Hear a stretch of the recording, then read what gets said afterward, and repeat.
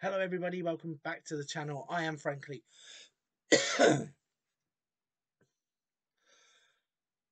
Hello everybody, welcome back to the channel. I am Frankly FM84. Big thank you for coming back and joining me on another video right here on the YouTube channel.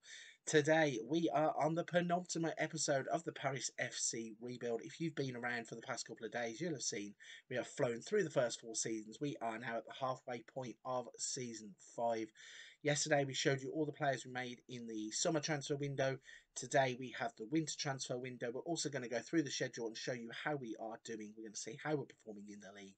And we aren't going to waste any time on this one. Let's jump straight into it. You can see on the right hand side there have been a lot of players come in and go out of the club.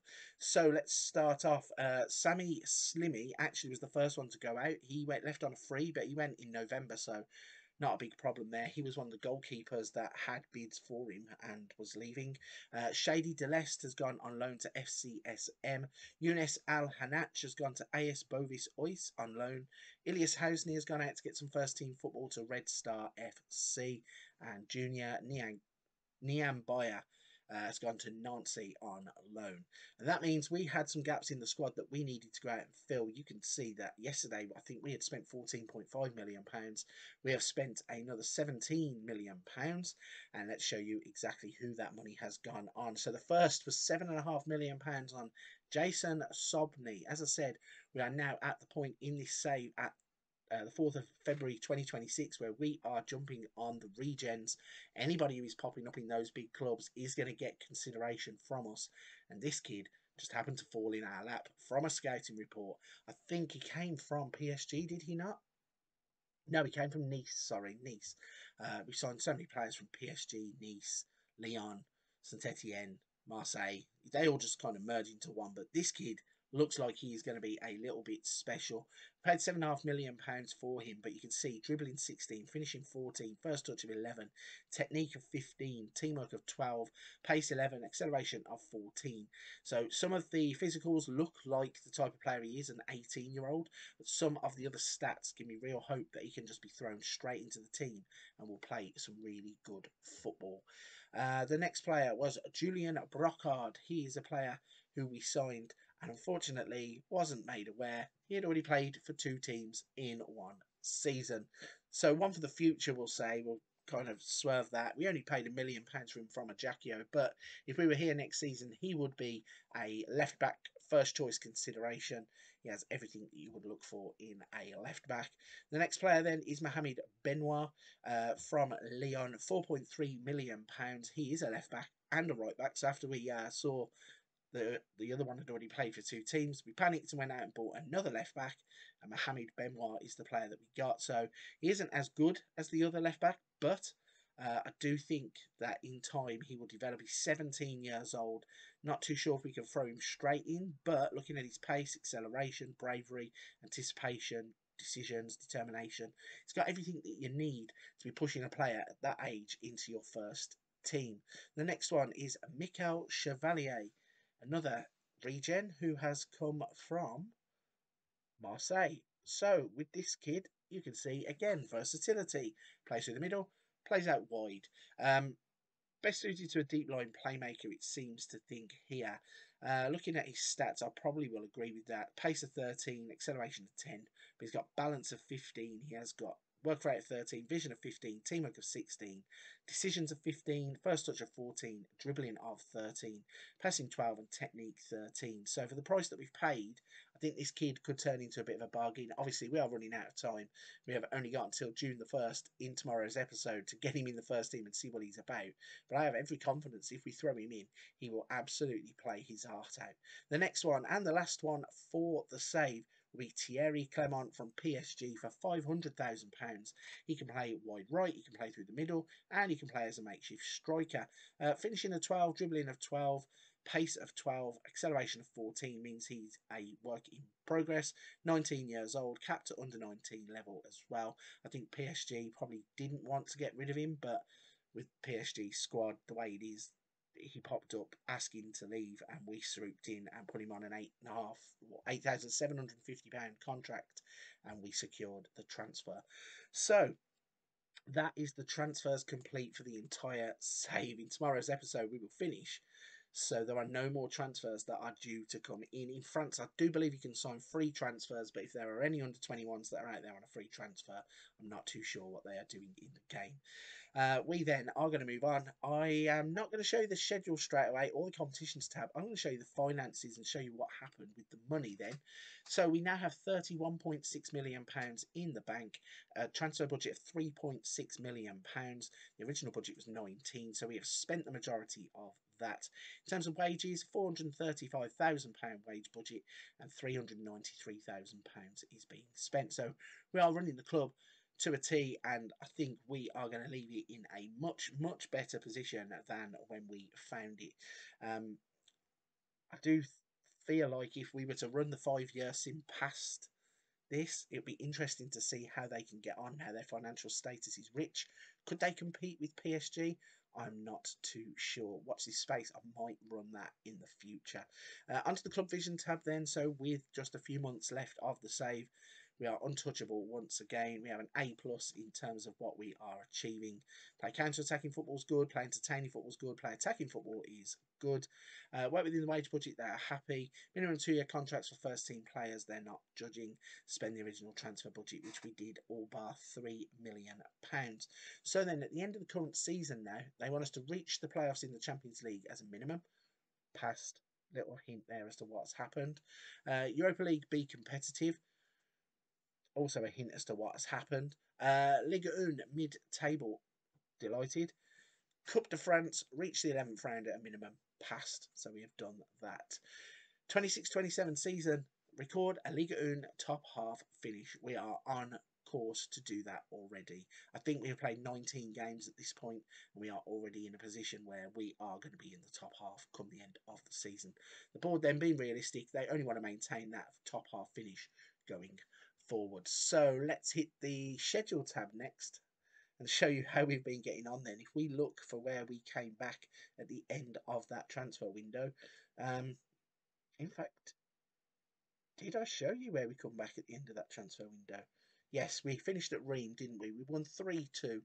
So we started off Liga 1 in this part of the game with a 2 2 draw. We then lost to Man City in the Champions League 2 1. Goals from Zabarnyi and Mbappe for Man City. How are you supposed to compete? A 0 0 draw with Lille was followed by a 1 1 draw with Lyon. Nice then absolutely battered us in the league before Borussia Dortmund did the same thing in the Champions League. We then turned it around. I'm not too sure what happened, what changed, but we beat Lens 1 0, and all of a sudden we got ourselves on a little roll. Uh, Marseille we went there and won 4 2. Ugochukwu, Akale, and Fadiga with the goals. We beat Shakhtar to get three points in the Champions League.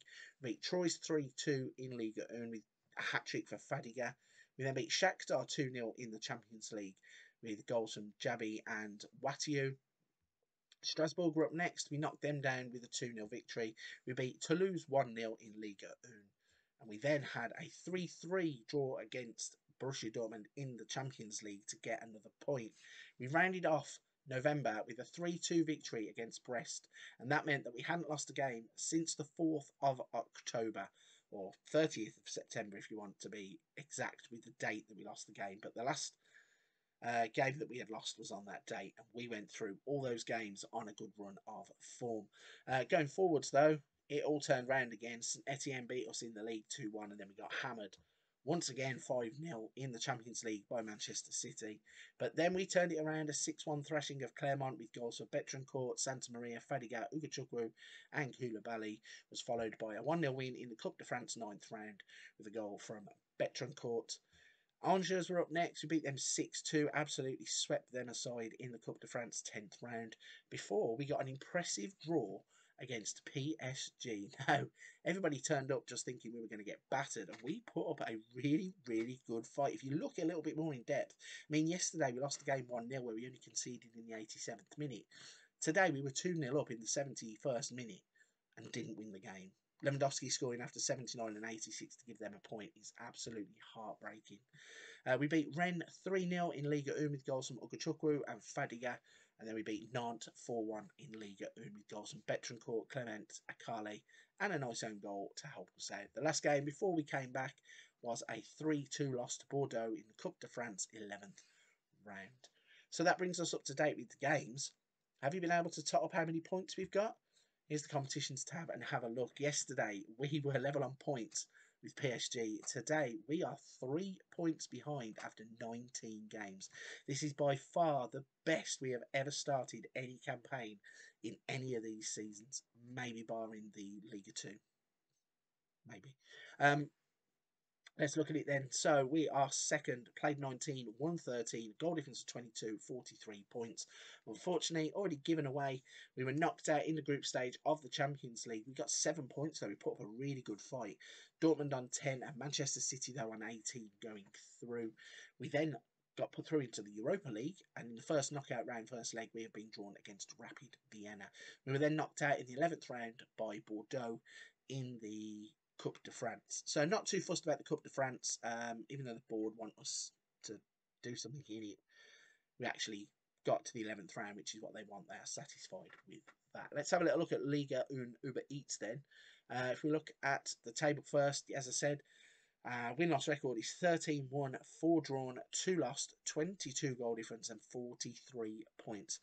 PSG are top with 19, 14, 4, 1, 35 and 46. So it means we are actually 7 points clear of Marseille at this point of the season and 8 points clear of Monaco.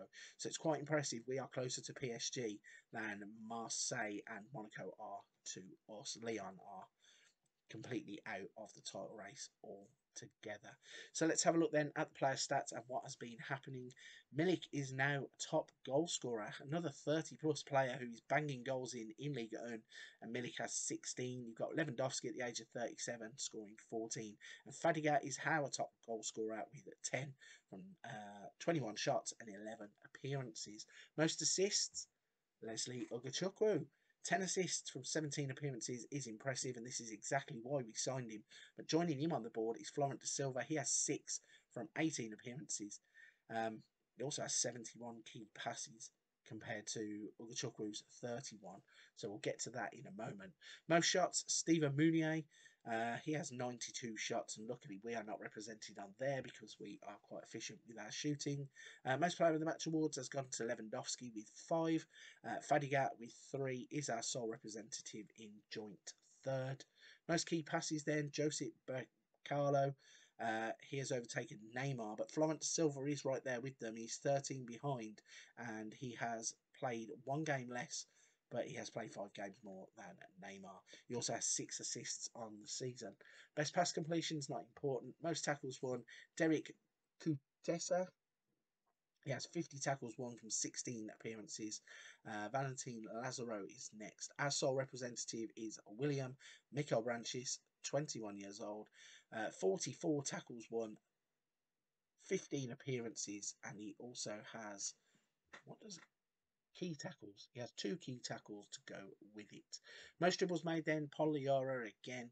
This is a player that obviously you need to keep your eyes on if you play with a dribbling tactic. My boy Konrad De La Fuente is up there as well. And unfortunately, we do not have a player on that list. Most clean sheets goes to Isaac Peterson and Valentino Lesure is on that list with six. And fewest conceded is Dimitry Bertaud uh, with six conceded from seven appearances and Valentino Lesure is on the list with 17 conceded from 15 appearances. Uh, offsides, absolute random stats pop up, but Akale, 21 offsides. Hadjam, most tackles per 90 minutes. Clearances, Watio with 230 clearances in games, that's impressive. And team goals there, 43 for a host of players, and Bondo on 42. So the last thing to look at then, moving into the last part of the season, is what the assistant thinks is our best 11.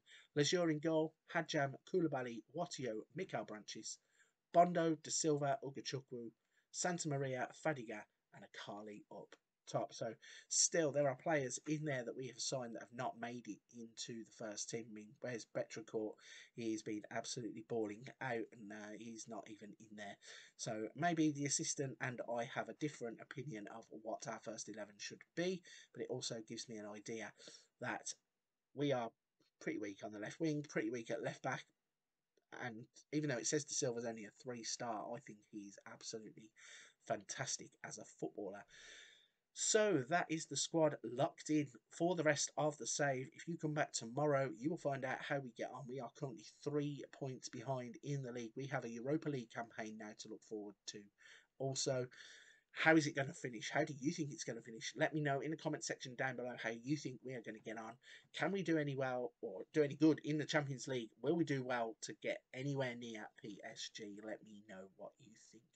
For this one though, if you're still here at this point of the video and you're still listening to me, firstly, a big thank you. I really do appreciate it. Secondly, you don't mind hitting the like and subscribe button to help the channel out. I really, really do appreciate everybody who takes their time to do that for me. But for this one, I'm going to wrap it up. Go and check another video on the channel and I'll see you very soon.